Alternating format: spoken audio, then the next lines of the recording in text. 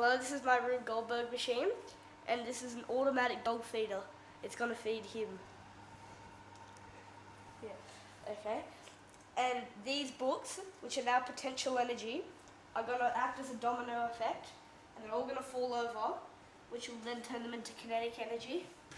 It'll hit this trigger, which will launch this potato, turn it into gravitational energy, fly over here, knock the skateboard down the ramp, and it will feed him. Okay.